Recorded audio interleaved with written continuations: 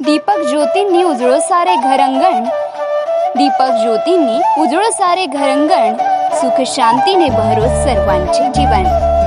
आपण सर्वांना दिवाळीच्या हार्दिक शुभेच्छा। शुभेच्छुक प्राध्यापक अतुल देशकर, माजी आमदार ब्रह्मपुरी विधानसभा।